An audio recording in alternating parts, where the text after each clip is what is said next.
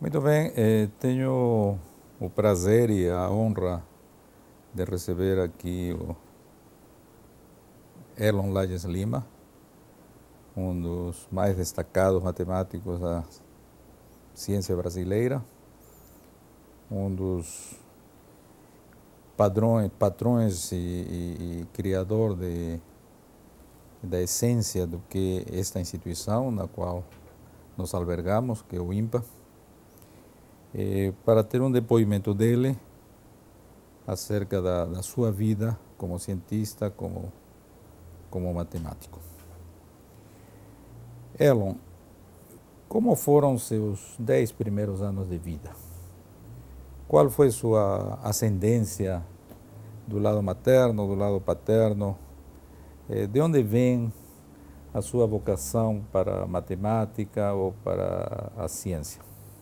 Isso é uma pergunta muito complexa. Já. Começa das minhas origens genealógicas e vão até a, a, a vida, o início da vida profissional. Então, vou começar pela primeira parte. Né? Eu sou filho de neto de imigrantes. Então, minha mãe é filha de imigrante e, e, o meu pai também é filho de imigrante. Minha mãe é filha de português, meu pai é filho de italiano. É, nós, eu nasci e me criei na cidade de Maceió, que hoje em dia é uma cidade bem maior, dez vezes ou mais de dez vezes maior do que era na minha infância. Maceió é uma cidade aprazível, tem umas praias muito bonitas e tem uma vida pacata, tranquila. Meu pai era um pequeno comerciante, tinha uma mercearia e minha mãe cuidava da casa, nós éramos quatro irmãos, dois meninos e duas meninas, e tínhamos uma vida tranquila, com a ênfase diária do meu pai e da minha mãe em, relação ao estudo.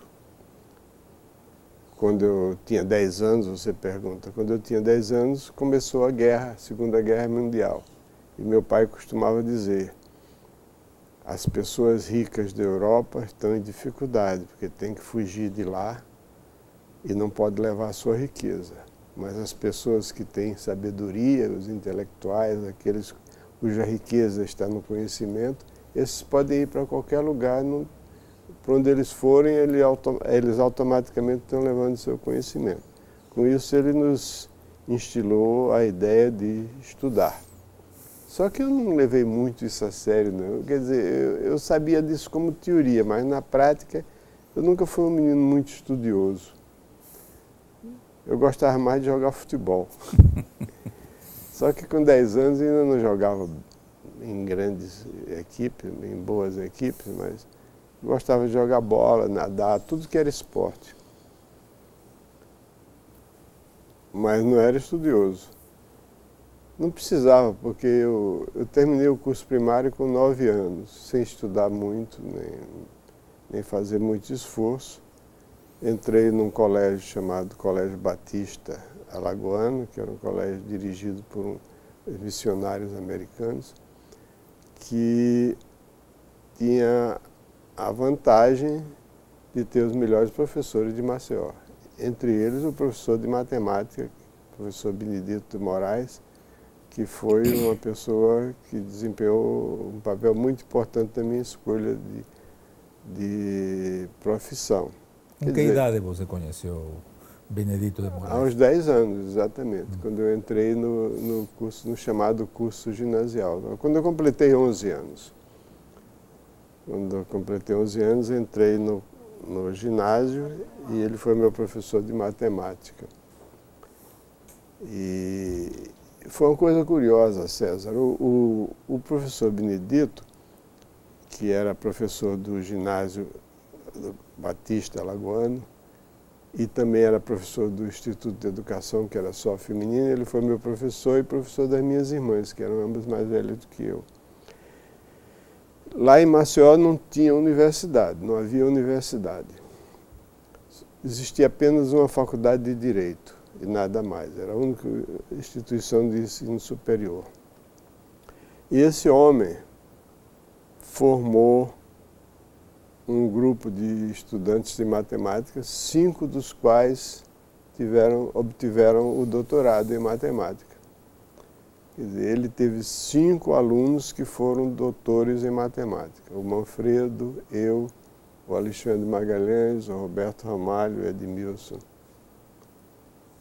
ele, ele é uma pessoa realmente um professor notável. E outros tantos que não, não fizeram doutorado. Que não fizeram doutorado, mas inúmeros que foram ser engenheiros, uhum. oficiais das Forças Armadas, funcionários do Banco do Brasil, que era, é, ele dava aula particular para concursos. Né? Ele era uma pessoa realmente marcante, é um professor extraordinário. Mas eu não posso dizer que eu me baseei nele para fazer um plano de vida, porque eu nunca tive plano de vida. A vida foi me levando e as coisas foram acontecendo e eu me tornei matemático, posso dizer, por acaso. Agora, a formação básica foi fundamental. Sem dúvida. Agora, mas voltando um pouquinho às suas origens, a, a sua ascendência familiar, os pais dos teus pais, os avós dos seus pais, eh, de onde que provém? De onde vem? É, a, o lado do meu pai praticamente se resumia nele, porque o pai dele, que era italiano, morreu pouco depois dele nascer. Ele foi criado pela mãe. E, na verdade, ele logo cedo teve que sustentar a mãe e começar a trabalhar. Do lado da minha mãe é completamente diferente. A minha mãe é filha de um imigrante português que veio para o Brasil, se estabeleceu, adquiriu uma fazenda e criou 13 filhos. E a prole, os descendentes do meu avô materno foram pessoas muito destacadas. Um foi governador do estado, senador, deputado federal, professor da universidade, médicos de destaque. Inclusive uma prima minha foi professora aqui da UFRJ e morreu aos 96 anos, uma mulher inteligentíssima. Então esse lado da família, da, da minha mãe, era um lado que teve um certo destaque na vida pública alagoana. Agora, do lado do meu pai não tinha ninguém. Só ele, a mãe dele morreu pouco, pouco antes dele casar e ele ficou, só tinha umas tias que não tinham muito contato com ele. E além das tias, você não tem uma, uma não, não tem informação sobre a Itália, o pessoal que veio? Não, não, não quase nenhum. Eu sei que o meu avô era siciliano, sei a cidade onde ele nasceu, é Monreale, perto de Palermo, que é a capital da Sicília. E sei alguns dados esparsos sobre ele, mas não muita coisa. É, é então, me diga uma coisa, a sua, a, a quando você eh, resolveu eh, estudar matemática de uma, de uma forma eh, consistente e organizada? a história, já contei essa história para várias pessoas, mas a história é a seguinte: eu era aluno, eu fui para Fortaleza para estudar na escola de cadetes lá. Estudei um ano e pouco e depois desse ano eu saí da escola. Então eu fiquei em Fortaleza e eu não queria voltar para Maceió. Então eu procurei um emprego. Eu procurei um emprego, eu fui na primeira loja que eu encontrei no, no centro da cidade, e entrei e disse, o senhor tem um emprego para mim? Eu tinha o quê, 18 anos na época. E o homem falou assim, não, não tem emprego para você. Aí começou a conversar comigo. Eu, o emprego que eu tenho aqui é para varrer o chão, você não vai querer pela sua, pelo seu aspecto, você é uma pessoa que tem mais eh, nível do que esse.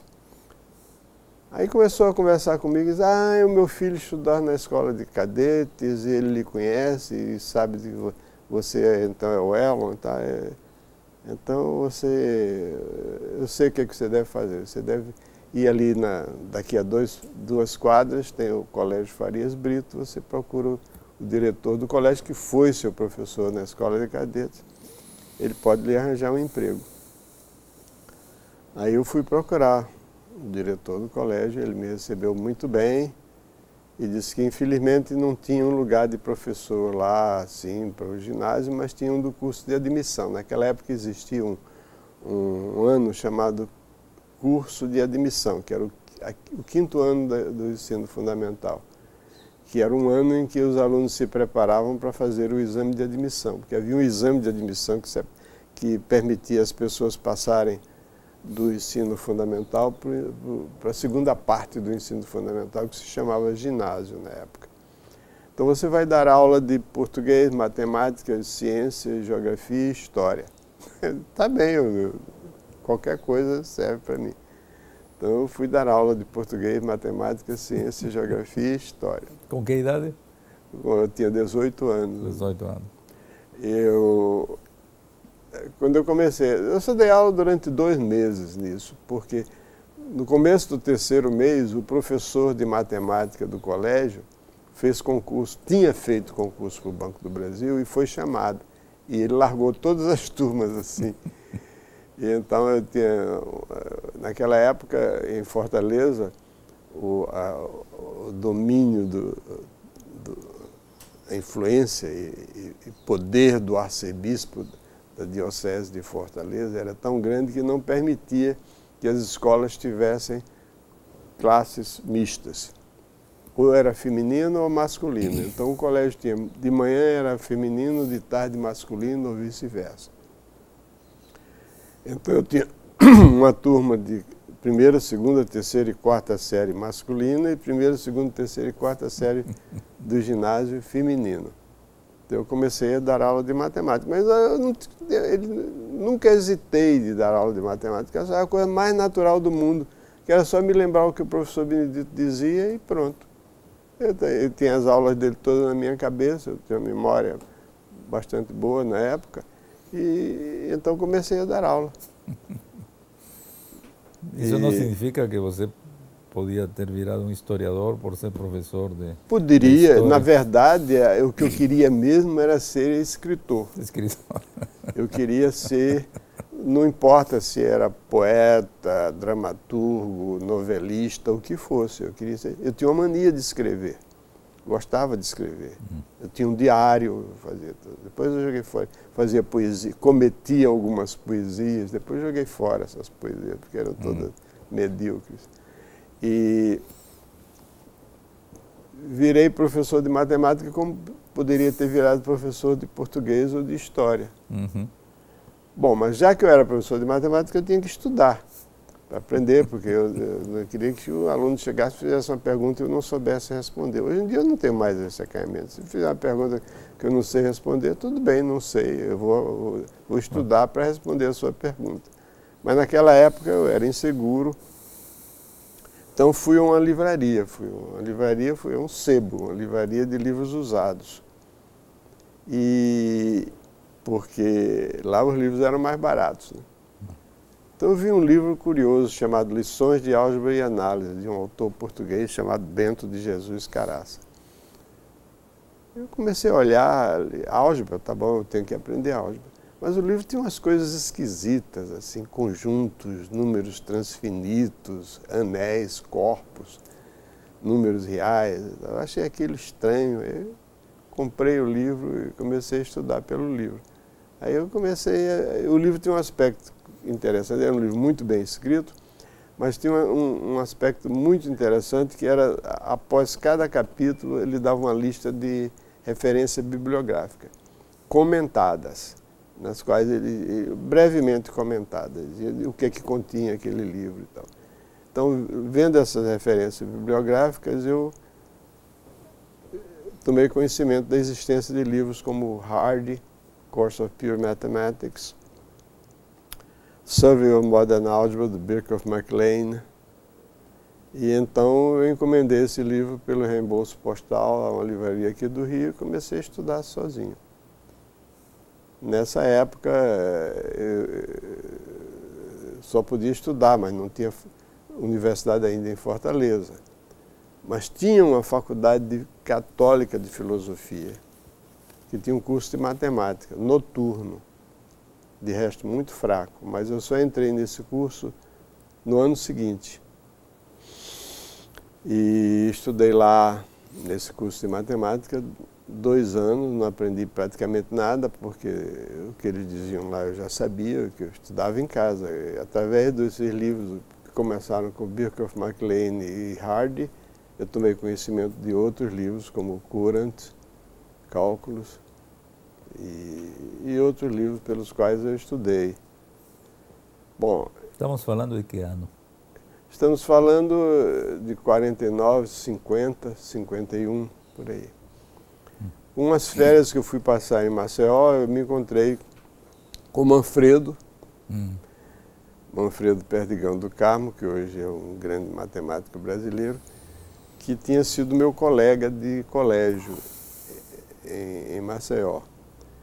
E nós nos dispusemos a fazer um seminário, eu, ele e um terceiro jovem que era estudante de física, que era bolsista aqui no Rio de Janeiro, Newton de Almeida Braga. E, e não, então nós três nos encontrávamos praticamente todos os dias para falar sobre exposições de matemática, eram de, de álgebra linear e de análise, nos alternávamos. E esse rapaz, que era, o Manfredo na época era estudante de engenharia na, no Recife, e esse rapaz, que era estudante aqui no Rio, achou que eu deveria me transferir para o Rio. Quando ele voltou para o Rio de Janeiro, depois das férias, ele entrou em contato com o pessoal do Centro Brasileiro de Pesquisas Físicas, o CBPF, que tinha como diretor científico César Lattes, falou sobre mim e o César Lattes, parece que ele falou com algum entusiasmo, o César Lattes escreveu uma carta convidando para eu vir para aqui, que daria uma bolsa do CNPq, a Bolsa de Iniciação Científica. Eu, quando eu recebi a carta, já estava no meio do ano, eu estava no segundo ano da faculdade. Eu não me lembro, eu tenho a impressão que eu nem respondi essa carta. Quando foi no fim do ano, ele escreveu de novo, aí mandando os papéis para eu assinar e tal, para eu ter uma bolsa. Aí eu assinei. Você não respondeu uma carta não, do César Lattes? Não, não respondi. Existe explicação para isso. É, é, eu tinha um, nessa época eu já era professor também do colégio estadual hum. do Ceará e eu achava, eu já estava preparado para pensando em me estabelecer em Fortaleza e não queria perturbar os meus projetos que eram bem modestos. Aí resolvi vir, aí vim para cá. E terminei os dois anos finais da faculdade, terminei aqui na Faculdade de Filosofia.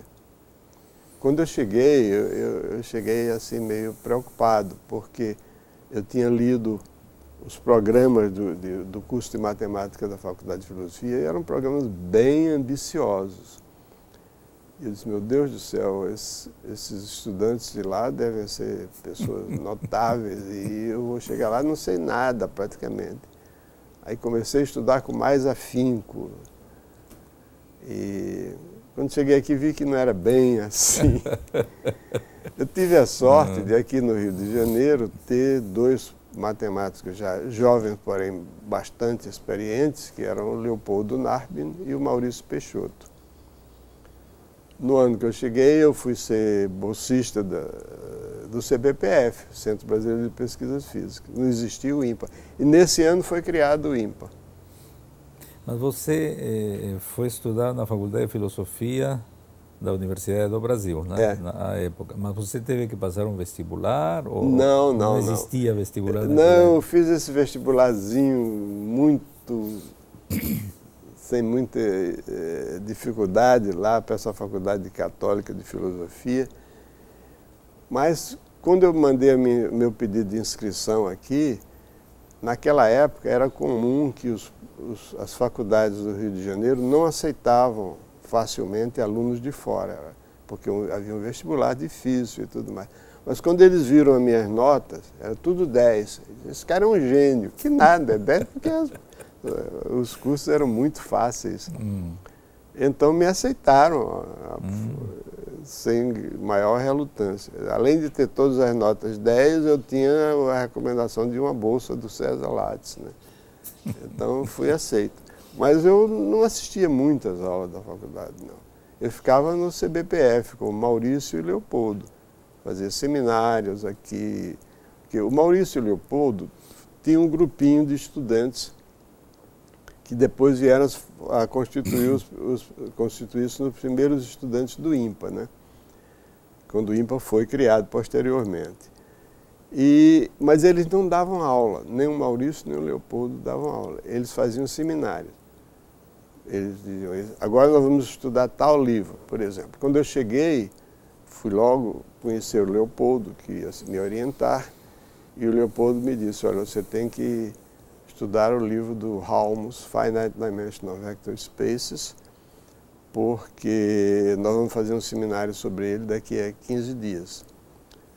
E então você vai fazer parte desse seminário. Então você tem que comprar esse livro. Eu fui à cidade, comprei o livro e quando o curso começou eu já tinha lido o livro todo, porque eu queria impressionar.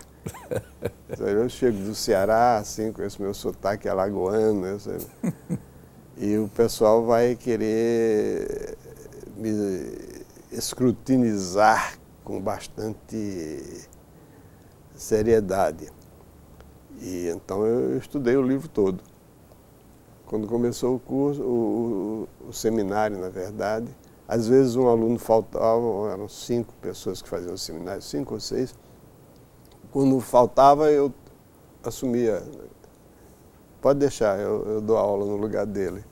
Aí procurava impressionar. Depois chegou também para o Rio de Janeiro, foi no ano seguinte, chegou o de Jairo, Jairo Figueiredo, que por acaso era meu conhecido lá de Fortaleza, porque eu e o, ele e o irmão dele ocupávamos o mesmo quarto na pensão da dona Francisquinha, lá em Fortaleza.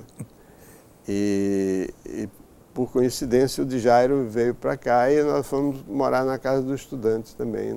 Mas ele veio ao CBPF ou veio a, Não, a, ele veio para a escola de engenharia. A escola de engenharia. Escola de engenharia. Hum.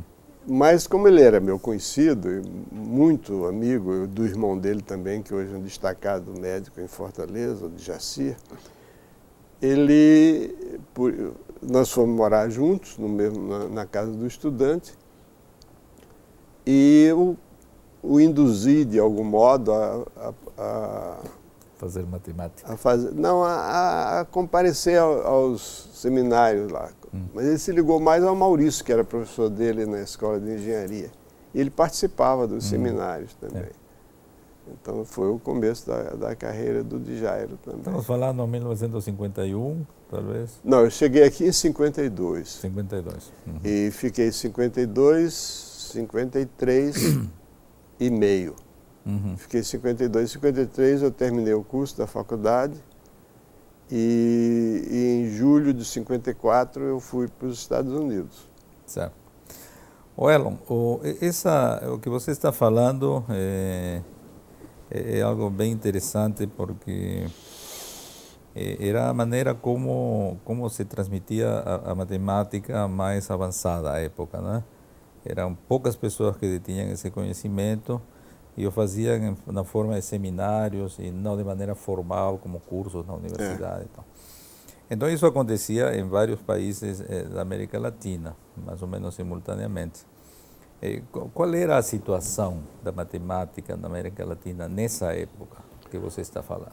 Na verdade, César, nós tínhamos muito pouco conhecimento sobre as atividades matemáticas nos outros países da América Latina. Aliás, não só as atividades matemáticas, mas tudo, porque o Brasil, na época, era muito isolado dos países latino-americanos, muito conexão do Brasil, se havia alguma, era com países estrangeiros, era com a Europa e Estados Unidos.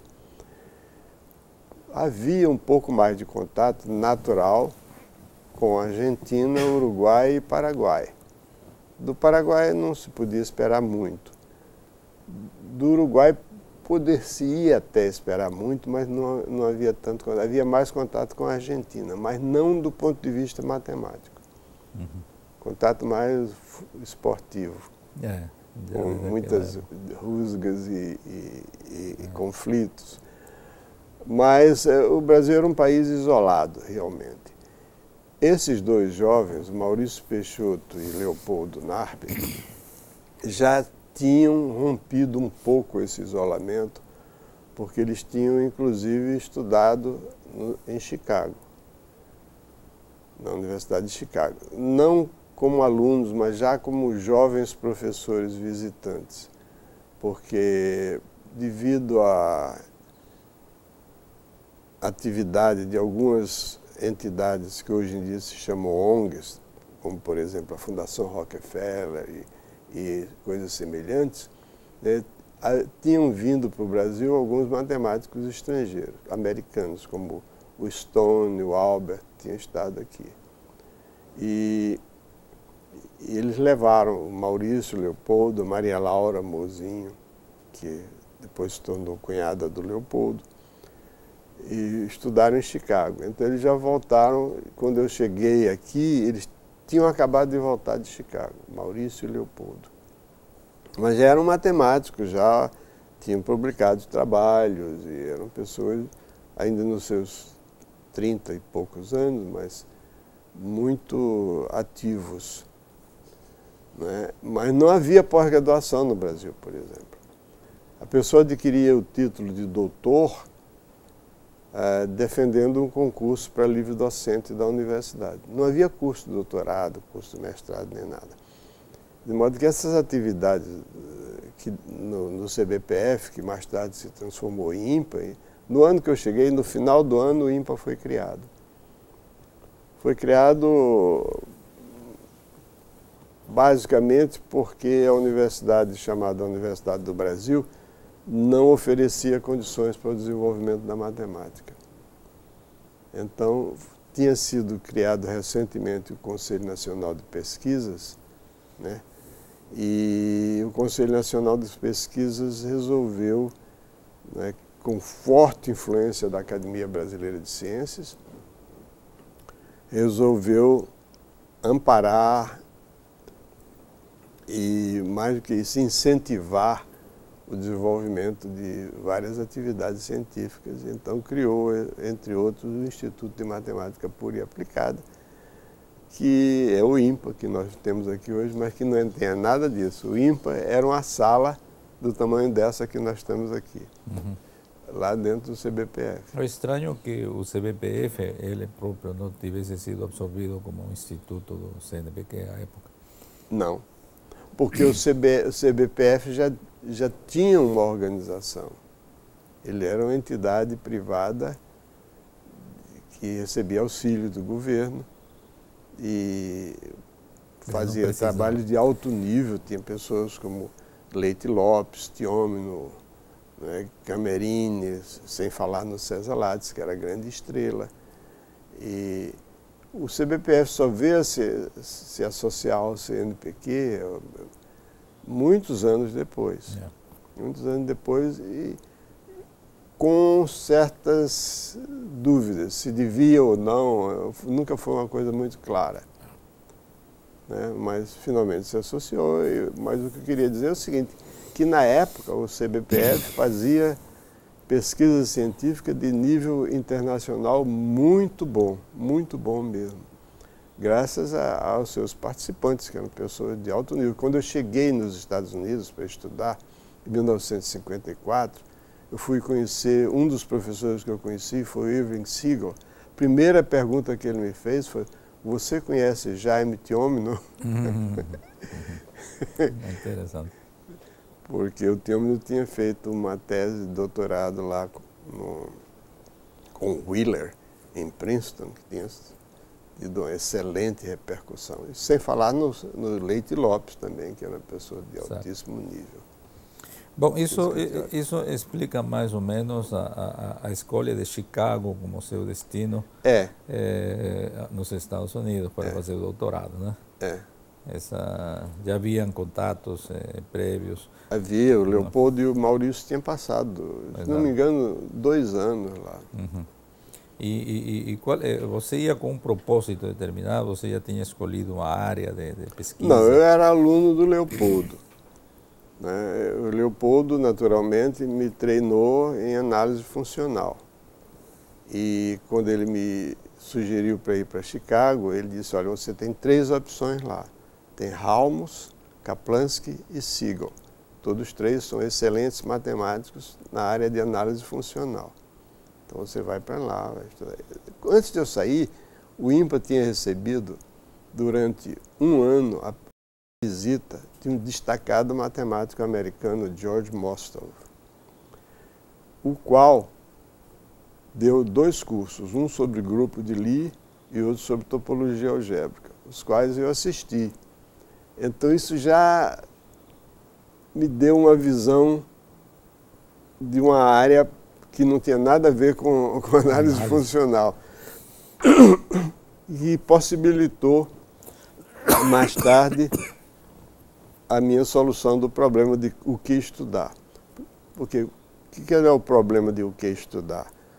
O Leopoldo tinha dito para estudar análise funcional, tinha Halmos, Kaplansky e Siegel. Cheguei lá, a primeira pessoa que eu vi foi o Halmos. Cheguei em Chicago um pouco antes do começo das aulas e, e o Halmos estava sozinho no departamento, não tinha mais ninguém. E ele estava se mudando de um escritório para outro, então pediu até para eu ajudá-lo a carregar os livros.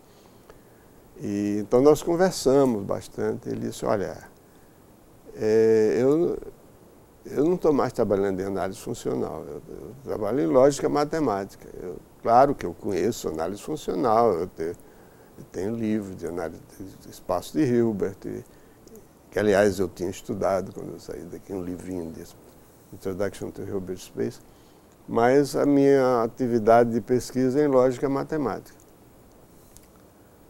Tudo bem. Aí, poucos dias depois, eu fui procurar o Kaplansky que aliás ficou o meu orientador no mestrado. O Kaplansky, uma figura assim, todos eles muito simpáticos, né? muito agradáveis, muito acolhedores, que aliás é uma característica da, dos professores da Universidade de Chicago, pelo menos naquela época, eram professores de altíssimo nível e pouquíssimos estudantes. Então os estudantes e os professores conviviam com a maior naturalidade, era uma coisa formidável. Então Kaplansky falou, olha, eu me interessei por análise funcional durante algum tempo, mas agora estou em álgebra pura. Trabalho em teoria dos grupos, grupos abelianos eh, infinitamente gerados, anéis comutativos, que... mas análise funcional não. Aí eu fui procurar o Siegel. o Siegel me disse, ah, ah, que bom, eu sigo, eu, você é brasileiro, eu gosto muito dos brasileiros. Foi ele que falou sobre o Tiômilton. Mas eu também agora estou em, mecânica quântica, estou interessado em mecânica quântica, que é um prolongamento de coisas de análise funcional, mas não é bem o que você está pensando. Mas aí, nisso, passou um ano, eu tinha que ficar, era obrigatoriamente, tinha que fazer o mestrado, tinha que fazer o exame de mestrado, e, não, e o exame de mestrado em Chicago era brabo.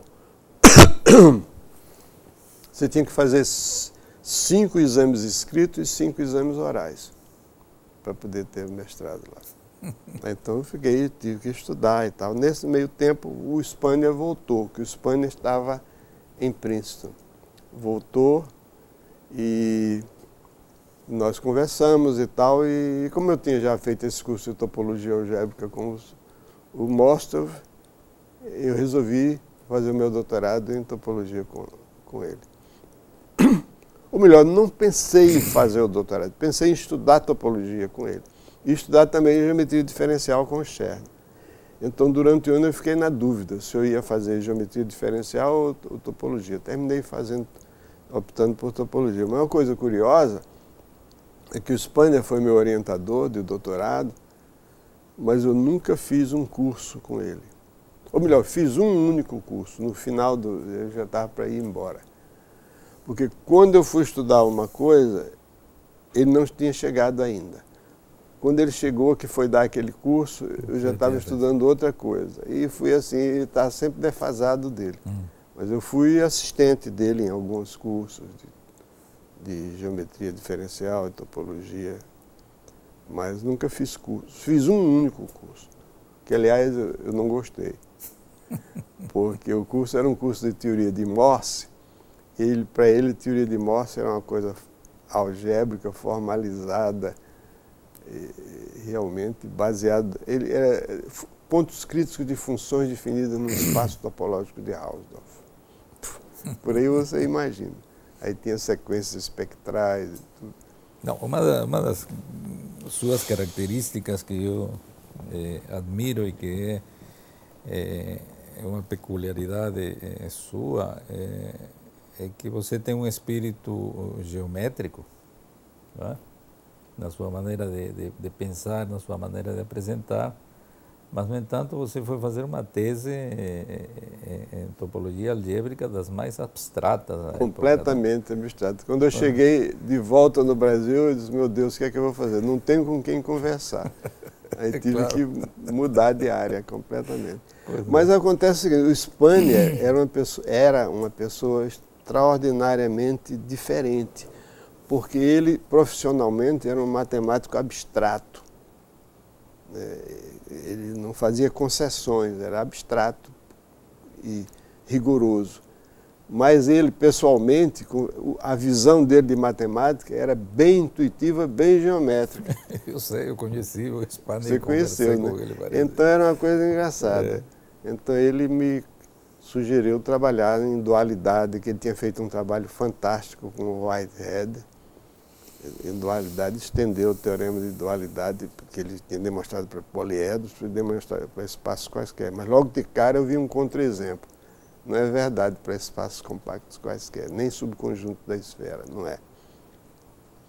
Mas aí eu tive que pensar um jeito de ter um teorema de dualidade para uma homotopia que fosse válido mais geralmente.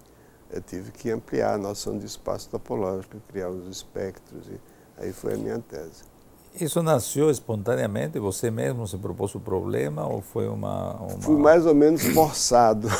Pelas circunstâncias. Porque ele, ele, não, porque ele, Spanner e Whitehead tinham um grupo, uns grupos associados a um poliedro, que era, tomavam poliedro, a sua suspensão, a suspensão da suspensão, etc.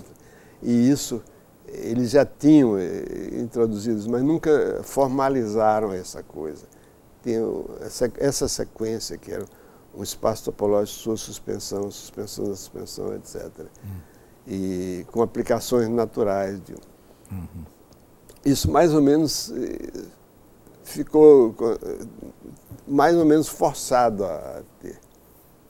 E, pra, e só precisava ser formalizada essa noção. Fazer uma, uma categoria de espectro com aplicações, etc. Eu, antes de chegar a esse ponto, eu perdi muito tempo tentando outras coisas, assim, associadas, que não dava certo. Finalmente, em, em janeiro de 54, não, de 58, desculpe, em janeiro de 58, que surgiu essa ideia desse estalo. Então eu falei com ele, ele aprovou então eu desenvolvi a tese de janeiro a, até mar, abril, eu escrevi a tese. Uhum.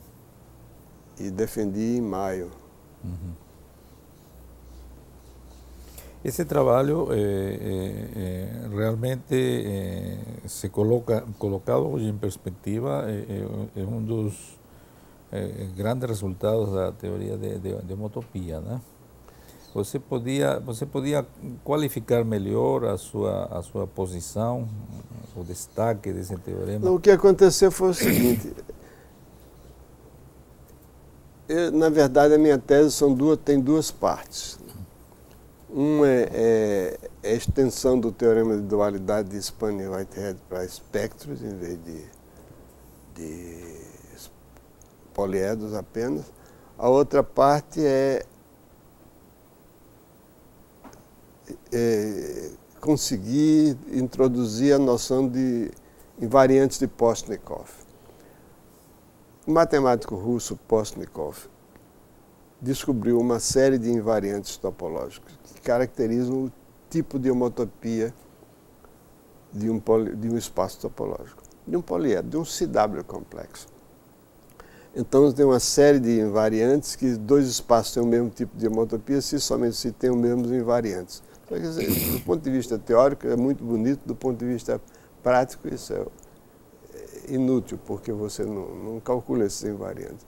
Mas então me propus a saber quando é que os espaços têm super, suspensões, dois espaços x e y, quando é que eles têm alguma suspensão de x, tem o mesmo tipo de homotopia com a mesma suspensão de y, chamado Aí eu desenvolvi uma teoria chamada os invariantes de Postnikov estáveis por suspensão.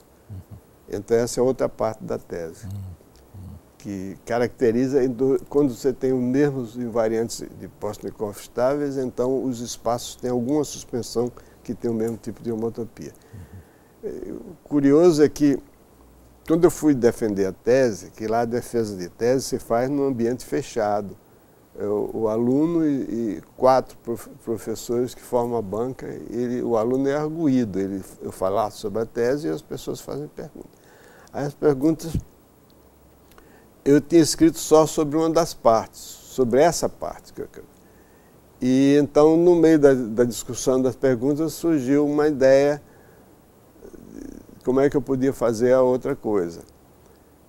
Então eu disse, olha, é o seguinte, ontem à noite eu não dormi direito, eu fiquei acordado a noite toda, porque eu estava preocupado com a minha defesa de tese. Então, já que eu não estava dormindo, eu resolvi trabalhar. Então eu desenvolvi essa ideia e fiz assim, esbocei como era o desenvolvimento. Resultado, me dei mal, porque agora é o seguinte, a sua, a sua tese é aprovada, contanto que você claro. acrescente essa parte aí. Aí eu tive que escrever novamente outro tanto. Uhum. Aí ficaram duas partes. Resultado, a minha tese tem 150 páginas datilografada. uma, uma tese meio gigantesca. Aí eu voltei para o Brasil e cheguei aqui, o que, é que eu vou fazer com isso? Não tem. É uma pergunta que você podia ter, ter feito antes. Não, mas antes eu queria ter o meu doutorado. mas me diga uma coisa, você disse voltou ao Brasil, voltou onde? onde para onde você veio? Eu vim para o IMPA. Que o IMPA era o seguinte, o IMPA na rua Luiz de Camões, nessa época tinha saído do não, CBP. Eh, não, eh, no rua não, Luiz de Camões, São na Clemente. rua eh, Sorocaba. São Clemente. São Clemente Sorocaba. 265, esquina Isso. com Sorocaba. Isso. São Clemente 265. O IMPA é uma instituição, na época o diretor era Lélio Gama, que era formado pelo Maurício Peixoto, Leopoldo Nardin, Paulo Ribemboim, e eu quando cheguei. O Paulo estava aqui já de retorno de algum doutorado também? Ele tinha feito doutorado.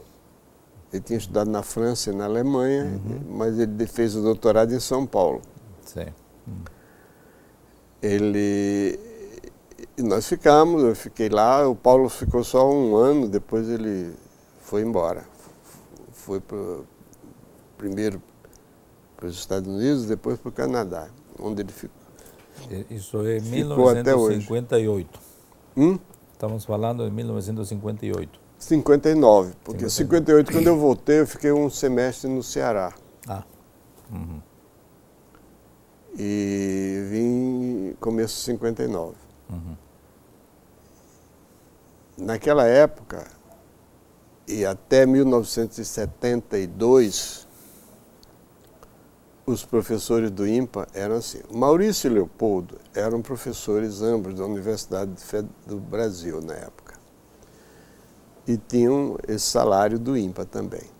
Eu não era professor de nenhuma universidade, era só do IMPA. Eu não tinha propriamente um salário, eu não sei o que é que eu tinha. No fim do mês me davam um dinheirinho aí. Uma bolsa, provavelmente.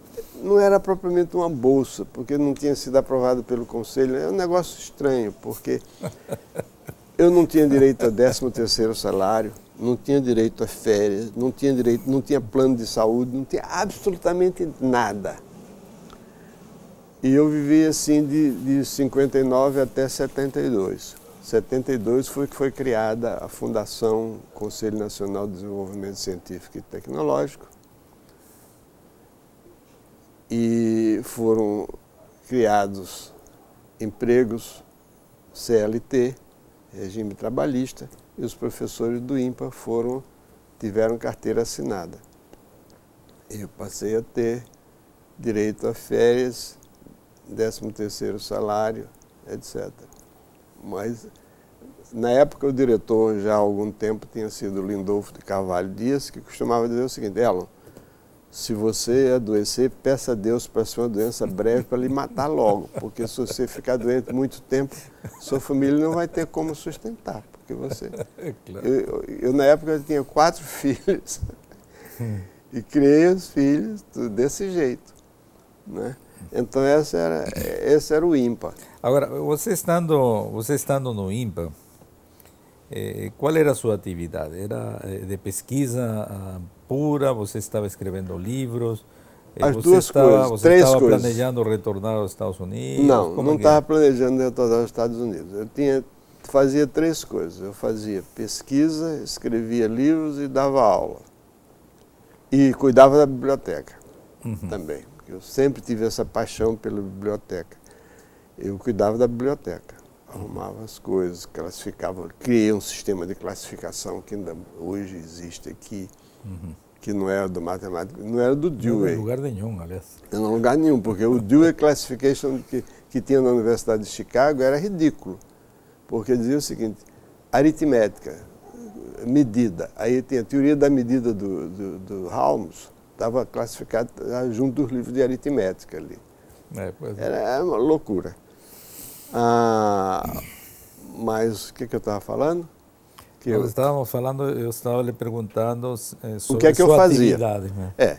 Então eu comecei eh, a refletir. Eu, se eu continuaria pensando em espectro e homotopia ou se eu e ficaria sozinho no, no Brasil, porque eu não pensei nunca em sair do Brasil, nunca.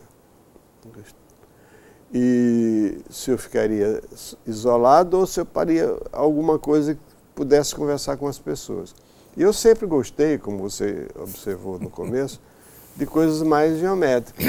Então eu comecei a estudar variedades diferenciáveis, topologia diferencial, essas coisas. E inclusive eu tive um mês no Rio Grande do Sul, onde eu dei um curso de variedades diferenciáveis, escrevi umas notas de, de variedades diferenciáveis. Publicado, aliás, no Rio Grande do Sul. Publicado no Rio Grande do Sul. Hum. E em 1961 teve um colóquio brasileiro de matemática que me puseram como coordenador do colóquio, então eu levei o colóquio para Fortaleza. Foi curioso que nós aluga... eu aluguei um avião da, da, da Varig, um jato da Varig.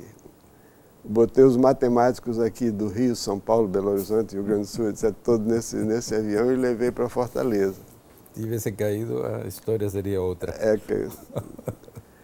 E esse ano que eu fui o coordenador do colóquio, eu dei um curso no colóquio também, um curso que, aliás, foi assistido, sabe por quem? Por Jean Dieudonné. Uhum. Assisti o curso, mas anos depois ele me disse que foi o primeiro contato dele com topologia diferencial foi aquele curso. Ah, é. Esse é o curso em Fortaleza. Que eu, eu escrevi as notas. Uhum. Outro dia eu estava dizendo para minha filha Débora, eu escrevi boa parte daquelas notas com ela no meu colo. e escrevendo as notas. Que foi, por sinal, que eu saiba, o primeiro livro de topologia diferencial escrito no, no Ocidente. Uhum. Depois dele veio o livro do Milner, oito anos depois. Então esse, esse livro de topologia diferencial ainda hoje é usado aqui no IMPA. É. Não modifiquei nada, absolutamente. Tem esses dois livros, né? O livro de variedades diferenciáveis, né? ah, esse variedade diferenciável surgiu 12 anos depois. Introdução à variedade Ah, não, introdução à variedade diferenciável não, não é de você, 60, é, é, precede. É, precede um ao de topologia diferencial. É. Pois é, esses dois livros realmente são uma preciosidade, né? E, e, e, e, e expõem, né? É, é mostram uma, um estilo diferente de escrever matemática. Ah, é? Eu acho. Eu, eu, Porque é, é, um estilo, é um estilo informal, bastante informal na comunicação, mas ele é rigoroso. Vai ser um livro de, de um estilo informal de comunicação. Eu acho de que a, a sua presença, como o seu, o seu, talento de escritor, ainda bem que você não foi para esse, para esse lado, né, se reflete nesse, nesse, nessa, nessa maneira nessa maneira boa de se aproximar do leitor. Eu acho que isso é original. Eu, eu, lembro que nessa década de 60, quando eu comecei a estudar eh, matemática, os livros eram abstratos, formais. Mesmo os livros de, que você está mencionando, eles são rigorosos e formais. Agora, a maneira como você introduz é uma maneira mais geométrica das coisas e, e um estilo mais, mais solto. O, o, você vê, isso é um, estilo que pode não ser é, é, original seu, pode ser uma, um produto do ambiente que você reflete, porque o trabalho do, do Peixoto sobre esses primeiros trabalhos, eles também têm uma tem, tem, tem uma tonalidade informal bastante bastante bastante forte na maneira de descrever as coisas. Né? Elas têm um rigor por baixo mas não tem sequências exatas, não tem formalismos, não tem. Hum. Compreende? É isso que eu me refiro. Em que, em que Bom, as coisas ficam explícitas. Né? Como dizia o escritor francês Buffon, o estilo é o homem. Pois é. então você, você é, você escreve aquilo que você é. É, é o jeito de ser. Né? É. É, mas é, eu admiro muito certos escritores de matemática principalmente franceses. Né? Por exemplo, eles podem, eles podem ser um tanto formais no sentido de que eles se colocam numa posição elevada, mas são de uma clareza, de uma elegância fantástica. Por exemplo, Picard é, é, é um, um, cara fantático. Sem dúvida. É. Picard podia ser um escritor. É. Poincaré que escreve muito bem fora da matemática, em matemática eu acho difícil. Eh, Ele é mais técnico. Mais técnico. Ah, é verdade. Mas escritores americanos, o Halmos é informal às vezes. Uhum. O livro dele, Finite Dimensional Vector Spaces, é informal. Agora, ele é informal, mas segundo o Maurício, vou usar uma palavra meio forte, que eu vou atribuir a ele, é uma maneira de eu escapar daqui. Ele diz que o Ramos é besteirento. besteirento porque ele se preocupa em provar que, por exemplo, no livro dele de teoria da medida tem um teorema que diz assim, se o produto cartesiano A vezes B é vazio, então ou A ou B é vazio. Esse é um teorema. Isso é brincadeira, né? pois é. Mas, Elon, é, então, é, a sua atividade naquela, naquela época, isso é o nascedouro do IMPA, né? E quando o IMPA começa a, a fazer suas estruturas, você está falando da, da organização da biblioteca do IMPA, por exemplo, que é uma, né? a maneira de ordenar os livros, enfim. E, e, e suas relações com o mundo externo, com os Estados Unidos, com a Europa? Muito, muito pouco uma, minha relação com o mundo externo é a seguinte: em 1961, eu dei esse curso em Fortaleza, eu estava bem interessado em topologia diferencial. E tinha estado aqui no Brasil uh, o Smail, que eu conheci, eu conheci o Smail no México. Eu, fui, eu era aluno e ele tinha acabado de, de terminar o doutorado em Michigan em 1956. Eu estava ainda lutando para conseguir escrever uma tese de doutorado e conheci ele lá em, na Cidade do México, numa reunião que teve o Congresso Internacional de Topologia, Simpósio é. Internacional de Topologia. É, foi uma reunião memorável, né? Memorável. Foi onde o Milner eh, apresentou as diversas estruturas diferenciáveis na esfera SC7. E onde houve uma tragédia também, né? Depois da reunião, Depois da reunião. o grande matemático polonês Hurewicz faleceu num acidente lamentável é. no Yucatán, caiu de cima de uma pirâmide uhum. daquela dos astecas. Mas eu tinha conhecido o Smail e depois daquela reunião no México, o Smail foi passar um, foi ser professor em Chicago. Não professor, mas instrutor. Né? Que era uma carreira de, assim, de experimental. Ele. Aí nós, ele morava perto de mim nós fizemos amizade. E ele, quando eu vim para o Brasil, ele, eu convidei ele veio aqui. Aí eu apresentei o Smail ao, ao, ao, Maurício. O Maurício, o Maurício estava em Princeton. Hum. E quando eu vim de volta para o Brasil, eu passei uns dias em, Princeton e, e lá estavam o Smail e o Maurício, eu apresentei um ao outro. Ah. Hum. E o Smail se interessou logo por, pelos sistemas dinâmicos e tal. E daí, dessa conversa entre mim, o Maurício e o Smeil, resultou a vinda dele posterior para o Brasil. Do e aí nós conversamos. Foi por um tempo longo, né? É? Foi uma visita longa. Longa, é. É. Ele alugou um apartamento no Leme, trouxe a família e tal. Uhum. E... Bom, então esses eram contatos internacionais eram de primeira linha. Né? Respeitável, é. Não eram contatos, eram contato. Uhum. E ele sugeriu que eu pedisse uma bolsa Guggenheim. Uhum. E eu pedi uma bolsa Guggenheim, que era uma coisa que muito difícil de, de se obter, mas as pessoas devem ter feito boas referências sobre mim e o fato é que eu ganhei a bolsa e fui para Princeton. Uhum.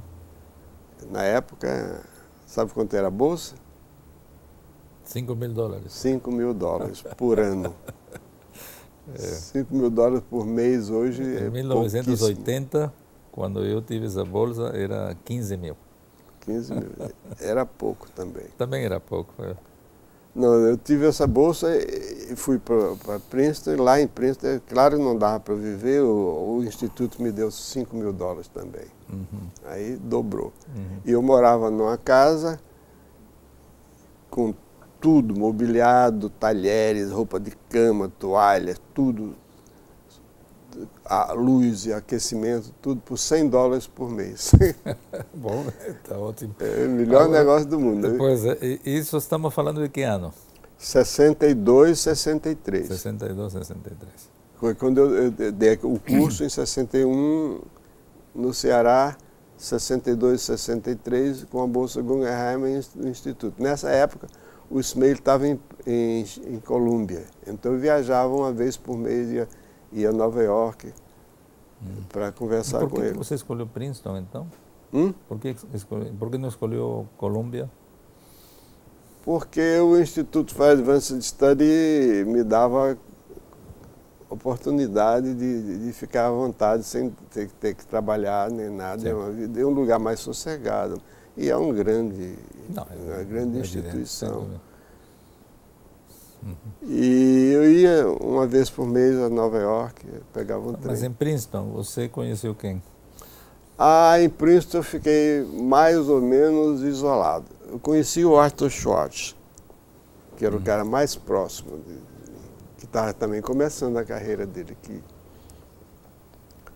Porque naquele ano, em Princeton, era o ano da topologia texana.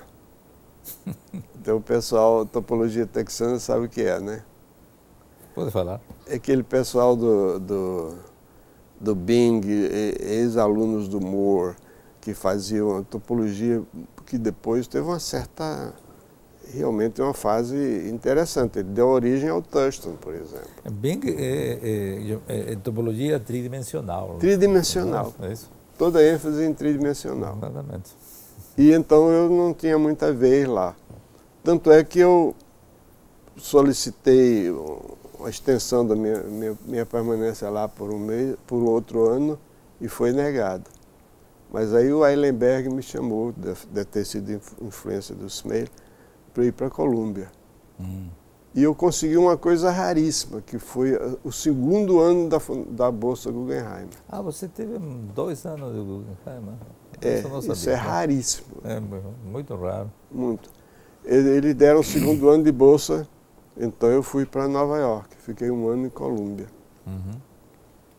Nessa época que eu fiz o trabalho sobre campos de vetores comutativos. E... De onde que veio esse problema? a, naturalmente a partir do sistema dinâmico. Que a definição, porque o pessoal chama, trabalha em sistema dinâmico, assim, sistema dinâmico é, é uma definição geral, mas você termina reduzindo a dimensão 1 e olhe lá.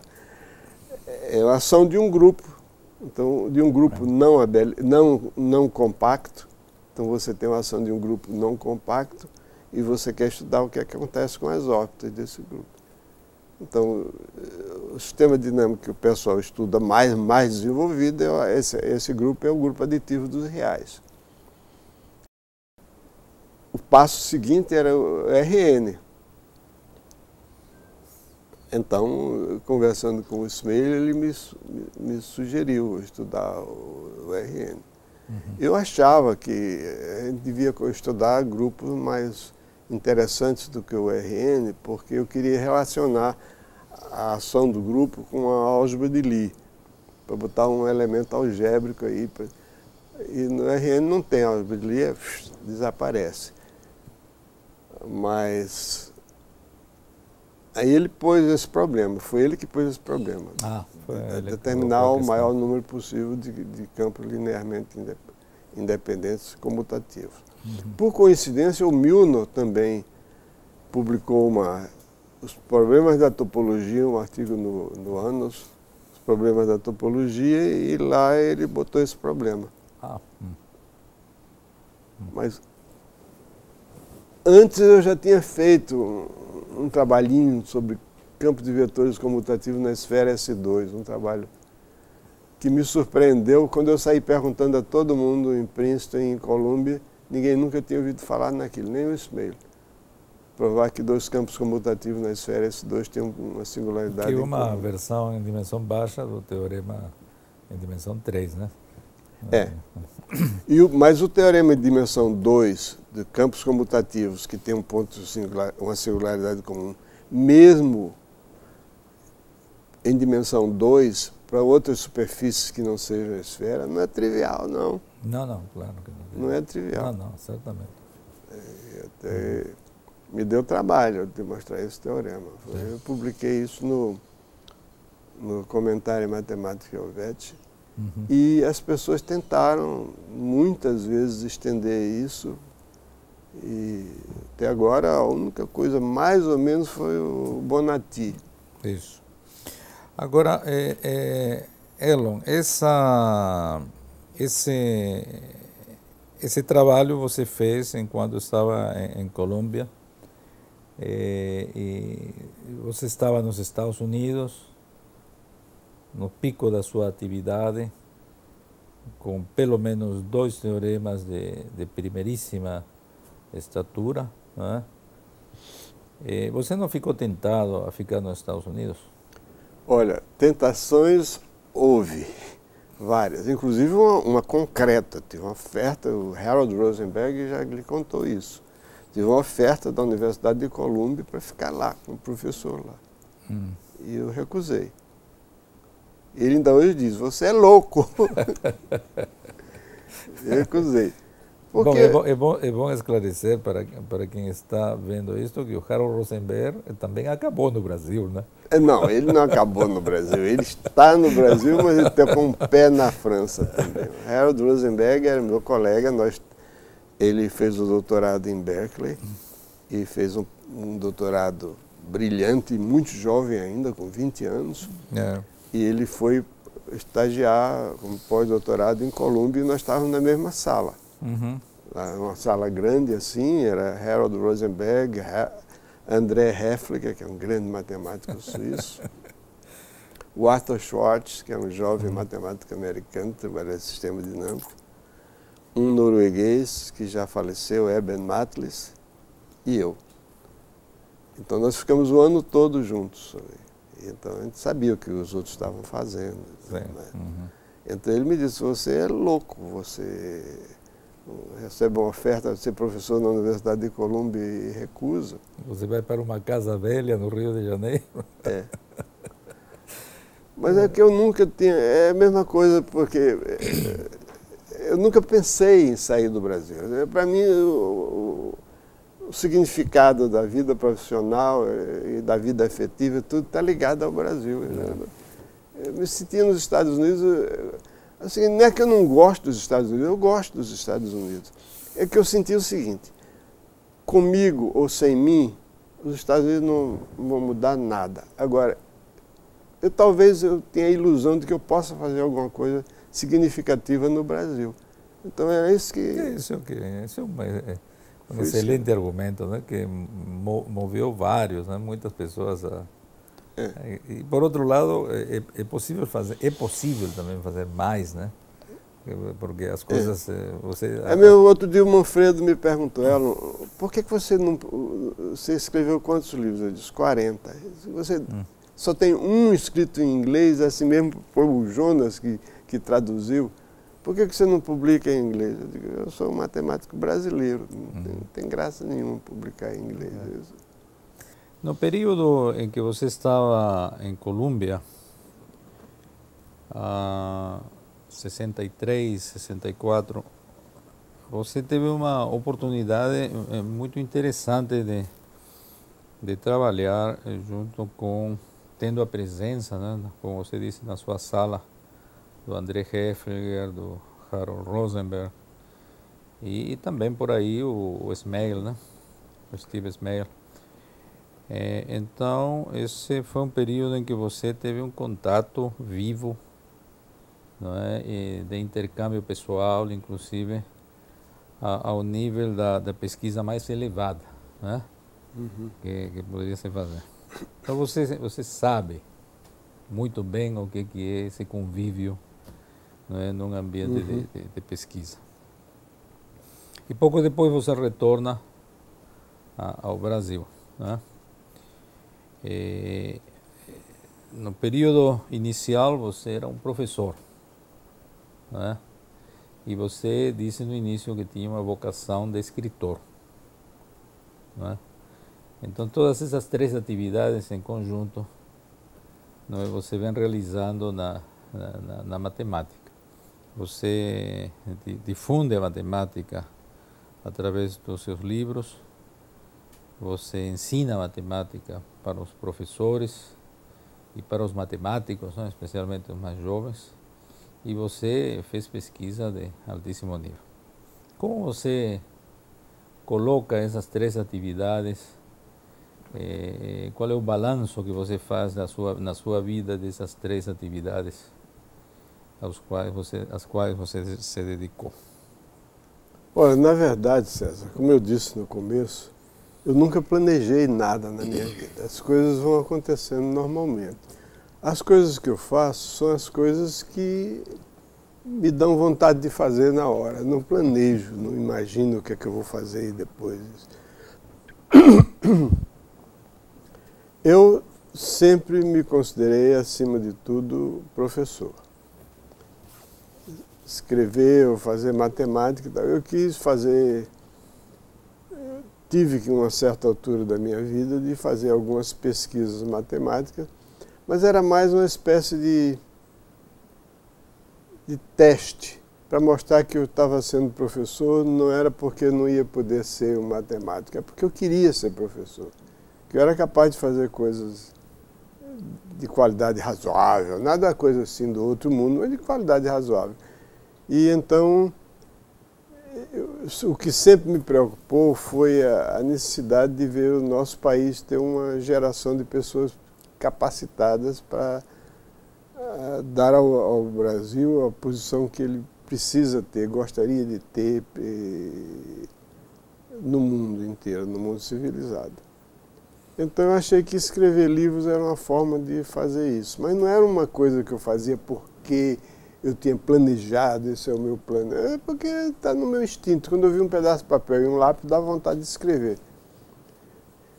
Agora, e além disso, o contato com os alunos, vendo o desenvolvimento deles, é uma coisa fascinante. Por exemplo, tem um, um rapaz que veio do Peru, que veio estudar em Brasília, que, que eu vi o, de, o, a, o potencial dele quando ele precisou de ir para Berkeley fazer o doutorado e mais tarde se tornar matemático destacado no país. Eu, aquilo para mim é um motivo de muito orgulho saber que eu testemunhei a sua ascensão, o seu desabrochar né, aqui nesse país.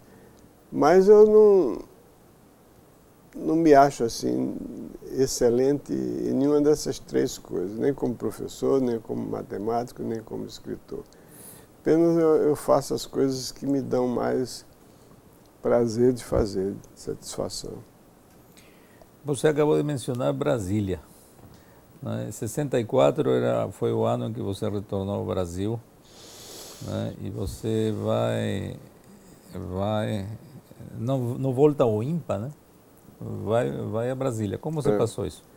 Ah, porque quando eu voltei dos Estados Unidos, eu, eu na verdade eu não, eu não tinha uma ligação com o IMPA, a não ser afetiva, emocional, mas do ponto de vista profissional não tinha nenhuma, né? Então eu tinha preocupação que a minha família estava crescendo, né? crescendo. Naquela altura eu já tinha três filhos, né? Logo depois nasceu a quarta e eu não tinha um emprego. Brasília era um emprego para mim. Além disso, era um desafio também, né? A Universidade de Brasília, você viu, era um desafio muito grande. Infelizmente, as condições políticas não permitiram que esse desafio fosse tivesse uma, um resultado positivo. Você tinha lá pessoas de altíssimo é. nível, né? de todo, em todas as áreas. Né? Sem né? dúvida. Em física, em, em química, em biologia, em, em música, em literatura e tudo. E era uma coisa realmente um, um, uma atração muito grande para uma pessoa que quer ver o país desenvolver. Lamentavelmente, houve incompreensão de ambos os lados. Os professores de Brasília não reconheceram que existia uma força maior, justa ou injusta, mas era uma força maior e a solução seria não querer enfrentar essa força que não tinha condição. O enfrentamento resultou numa destruição, uma destruição honrosa, porque nós quase que unanimemente pedimos demissão coletiva, foi uma coisa fabulosa, mas foi um, um, suicídio em massa. Né? E então eu voltei para o IMPA. Ah, a volta para o IMPA não foi assim imediata. Primeiro eu passei um, uma temporada em Rochester, depois é que eu vim para o IMPA. E Berkeley? Não, IMPA depois. depois eu voltei para o IMPA de Berkeley, depois passei um ano em Berkeley. E o IMPA, devido a uma série de circunstâncias, atravessou essa tempestade da, da Revolução de 64 com perfil baixo. Não, não se meteu, não se comprometeu com, com a ditadura e tampouco tentou enfrentar numa luta quixotesca que não tinha resultado contra a ditadura. Foi uma coisa interessante. Tinha pessoas de diferentes uh, ideologias políticas, mas que conviveram sempre, né? gente de extrema direita, não tem ninguém de extrema esquerda, mas gente mais de, de extrema direita e gente de posição mais liberal. Mas nós soubemos atravessar esse período assim e o IMPA cresceu e se solidificou né, durante a ditadura, por incrível que pareça. Essa, essa, essa experiência de, de, de, Brasília, de fato, não foi um, um fracasso completo, né? porque esse modelo universitário que era pioneiro na, na Universidade de Brasília é o que vemos posteriormente É, Brasília, país, né? por assim dizer, divulgou no Brasil a ideia, que já era conhecida no mundo inteiro há muito tempo, de que uma universidade precisa de pesquisa e pós-graduação. Exatamente. Enquanto que até então a predominância da universidade brasileira era no ensino técnico, pura e simplesmente, é. com todas as suas deficiências, porque uma técnica sem a pesquisa não permite inovações válidas, né? assim, né? permite só cópias.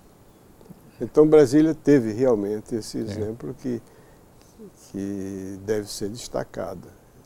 Sim. Foi o sonho do Darcy Ribeiro, que infelizmente ele não conseguiu ver viver, mas tem esse aspecto bom.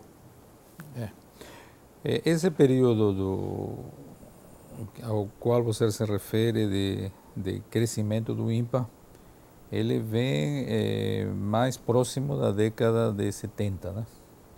É, década de 60, é. final da década de, de 60, não é isso? É. Em 69 foi criada oficialmente a pós-graduação no Brasil. É. E o INPA teve os seus cursos de pós-graduação reconhecidos, que até então dava eh, esses cursos, mas não tinha autoridade para emitir um grau. Ao mesmo tempo, essa, essa época também coincide com a existência de recursos para eh, contratação de, de pesquisadores, é. inclusive estrangeiros, que afluíam Foi uma época INPA. Em, né? que, em que a economia brasileira deu um salto grande para frente, uhum. né? e com isso sobrou algum dinheiro para pesquisa. Exatamente. O Brasil sempre teve, desde o momento da criação do Conselho Nacional de Pesquisas, sempre teve uma uma política de conceder bolsas de estudos para pessoas estudarem fora bastante boa. Primeiro com o CNPq, depois com o CNPq e a CAPES e várias outras agências. Era, era uma coisa razoável. Eu, quando eu saí do Brasil, eu não saí com bolsa do CNPq. Eu saí com bolsa da Fundação Rockefeller. Mas quando eu estava no meio do meu programa de doutorado, eu passei para ter uma bolsa do CNPq. É, isso é uma é uma diferença de, de, visão, né, em termos comparados com outros países da América Latina, né? É. O Brasil se distingue por isso, o que levou à criação de uma pós-graduação muito sólida, uhum. em que e, e, e, bem construída, né? É, em que o que prevalece é o mérito, né? É. É a política do mérito. É, eu, eu, me lembro que uma certa altura, foi em 1960 e 2002, antes de eu ir para os Estados Unidos, eu estive na Venezuela e por uma circunstância especial eu tive contato com o, o presidente da Venezuela na época. Hospedado no, no Palácio Hospedado do no Governo. Palácio do Governo. E, mas não tem nada a ver com, com a minha posição de professor nem de matemática. Era, Desta era, vez você aceitou o convite. Você não aceitou um convite inicial do César Lattes, mas do presidente da Venezuela você aceitou. Não, aceitei de, de, ficar uns dias lá na, hum. na, na, universidade e eu fiquei hospedado lá realmente no palácio dele. E, mas eh, palácio não, é uma residência ampla, confortável, mas não tinha nada de palácio. E então eu disse para ele, ele, que ele estava convidando muitos professores estrangeiros para visitarem Caracas e outros centros, principalmente Caracas. Eu disse a ele, essa atitude não é melhor não, não é má mas não é a melhor. A melhor é você mandar gente daqui para estudar fora. É. Porque esses voltam. Alguns ficam, mas a maioria volta. É. As pessoas às vezes, e, e, foi o que o Brasil fez. As é. pessoas às vezes criticam o programa de bolsa do Brasil, porque ah, é, dá bolsa para as pessoas, eles vão estudar fora, chega lá, não volta. É, alguns não voltam, tudo bem, mas a maioria volta. E os que voltam prestam um serviço inestimável. É. Na realidade, as pessoas voltam é, é, se existem condições adequadas de trabalho. Né? Também é, é, importante isso. Não adianta voltar se não houver condições. É, exatamente. Uma coisa não, não funciona sem a outra. Não adianta também dar condições se não tiver pessoas capazes para preencher é. essas condições. Então, Elon, você, você presenciou, né? É, a existência do IMPA inteira, né? É, eu estava na sala na... Da, do, da biblioteca do CVPF quando entraram o, o Leopoldo, Maurício e Lélio Gama, alegres, eufóricos, foi criado o IMPA. E eu fui a primeira pessoa fora deles a saber que foi criado o IMPA. Foi criado o Instituto, acabamos de vir do CNPq, onde foi criado o Instituto de Matemática. Já se chamava Instituto de Matemática Pura e Aplicada? Era, o IMPA. Uhum. Até eu brinquei, está faltando um R, devia ser qualquer coisa que tivesse o R para ficar ímpar. E o IMPA ficou ali naquela sala durante dois, três ou quatro anos, até eu ir para a rua, rua Luiz de Camões, não, a rua, a rua São, Clemente. São Clemente, esquina com Sorocaba. É. Muito bem, você foi, eh, sua vida eh, eh, científica, sua vida de matemático, você fez eh, estreitamente vinculado ao INPA, né? Você foi inclusive diretor do INPA várias vezes. Três vezes. Três vezes. Né? E, e, malgré moi-même. É, malgré moi-même. é, e é, então eu, eu gostaria de lhe fazer algumas perguntas a respeito. O que, que você acha que deva ser o papel do INPA é, para o Brasil e para a região da América Latina? Bom, o INPA nasceu no Rio de Janeiro.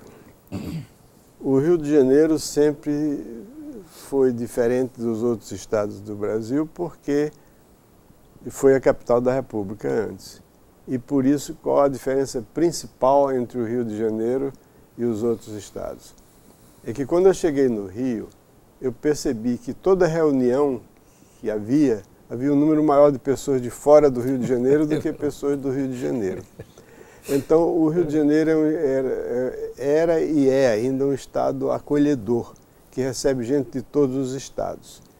Então, é, naturalmente, isso faz com que as coisas aqui se voltem também para fora. A gente não pode ignorar que existem outros estados. Eu me lembro que quando eu era estudante em Maceió e depois em Fortaleza, eu ficava achava estranho que os jornais de São Paulo, como por exemplo o Estado de São Paulo, dizia futebol paulista, e tinha comentário depois, futebol nos estados. Aí eu achava aquilo estranho, futebol nos estados, então os outros estados, São Paulo não é um estado. Então, é, é essa, essa atitude, o, o IMPA foi criado assim. Então, desde o primeiro dia, o IMPA é voltado para fora. Voltado para fora, para fora do estado do Rio de Janeiro, para fora e para fora do país também, que tem essa visão é uma coisa natural, espontânea. Né? Aliás, ajudada pelo acaso, porque quando o IMPA foi criado, ele não tinha professores em número suficiente para constituir um conselho técnico-científico que ia dirigir a instituição. Então teve que trazer pessoas de física, pessoas de outros estados, de Pernambuco, do Rio Grande do Sul, de São Paulo, professores do CBPF. Então fez um CTC que, de gente de fora. Essa experiência foi muito boa, porque as pessoas de fora têm uma visão mais neutra, não se, deixa, não se deixam levar pelas questões, pequenas questões locais que terminam virando cacoetes. E então o IMPA sempre teve essa visão de fora. Que se mantém até agora no CTC, né? É? Que se mantém até agora. Se mantém até agora, sempre teve essa eh, visão. E o Brasil também tem. O Brasil tem uma coisa: o Brasil é um país, é o único país que fala português na América do Sul. Na América Latina é o único que não fala espanhol. Então, quer dizer, exceção da, da Guiana. É, então, o Brasil sente a necessidade de, de, de, de amizade dos outros países. E, e, isso é uma coisa para não se isolar demais, né? Mas eu acho isso muito bom, isso só fortalece a instituição. O fato da gente ter professores de vários estados e vários países também, eu acho isso muito bom. Muito bem, Elon. É, eu faria então uma, uma última pergunta. É, qual é o futuro que você deseja para o IMPA? Que eu desejo para o IMPA? Ah, eu desejo que ele continue sendo uma instituição de alta excelência, que seja uma instituição livre de pequenas rusgas e, e, atritos, mas que seja voltada para objetivos mais elevados que continue fazendo cada vez melhor o que está fazendo, principalmente essas atividades de, que estão de acordo com, sua, com seus estatutos, que são pesquisa, ensino e divulgação da matemática. Naturalmente, o, o alcance, alcançar ou não esses objetivos depende muito do apoio do governo brasileiro, o qual também depende bastante da situação econômica do país, né? que eu acho que tem tudo para ser boa e eu vejo com muito otimismo no futuro. Eu acho que o IMPA vai terminar crescendo mais que esse, esse edifício muito bacana, cercado desse ambiente maravilhoso aqui. Logo, logo vai ser pequeno demais para a gente, já já vai ser pequeno. E vejo com simpatia a possibilidade do IMPA diversificar suas atividades. De que maneira? De que maneira? Fazendo coisas que ainda não fez. Muito bem, muito bem, Elo. O, eh, talvez podíamos eh, concluir a entrevista eh, eh, eh, perguntando se você teria ou gostaria de fazer uma última manifestação, a respeito do que você quiser. É, eu, eu, gostaria de viver o suficiente para escrever mais 10 livros. que eu pensei em escrever 50, só escrevi 40. Eu disse isso porque eu estou vendo um ali que foi o número 40 ali. Exatamente. Já quiseram levar, mas como tem uma dedicatória, não permiti. Ah, eu pegaria, tem, daqui a duas salas você eu tem. Sei. Muito Quem bem. que quis levar? Ah, estudantes peruanos.